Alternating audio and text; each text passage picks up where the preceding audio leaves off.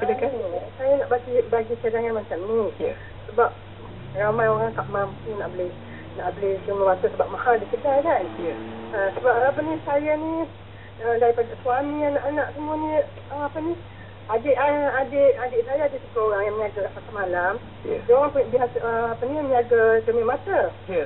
Lepas tu saya cuma beli saya beli dengan adik saya. Ya. Yeah. Saya. Lepas tu saya pergi uh, masuk apa ni cermin tu dekat kedai. Uh, Bagus. murah lah. Ah, berapa? Murah. Berapa harga? Dalam RM20, RM40 macam tu je masuk cermin. Bagus.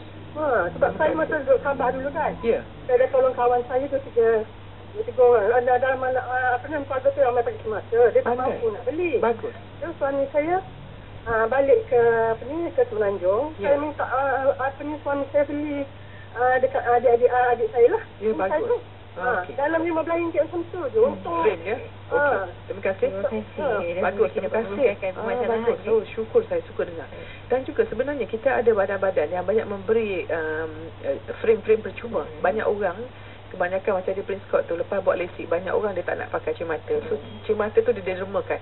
So apa saya buat saya simpan cermata tu so siapa kadang orang datang yang tak mampu saya beri, berikan dia punya uh, Hmm, frame, tu. frame. Ah, cermin tu boleh beli sendiri.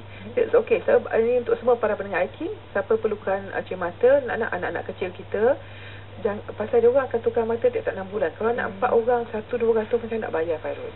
Jadi sebab itu, uh, dalam persatuan doktor mata dulu, kami ada berikan voucher frame. Untuk ni cermata RM100, tak tahu ada tak lagi. Uh, tetapi yang penting ialah, uh, yang penting cermin tu. Kalau RM20, beli frame RM15, baru RM35. So satu cadangan yang baik, cuma siapkan dengan bingkai dan cari uh, cermin saja. Ya, Bagus. Satu solusi Bagus. lagi. Ya, solusi lagi. Ya. Alhamdulillah. Kembali untuk pendengar kita. Assalamualaikum.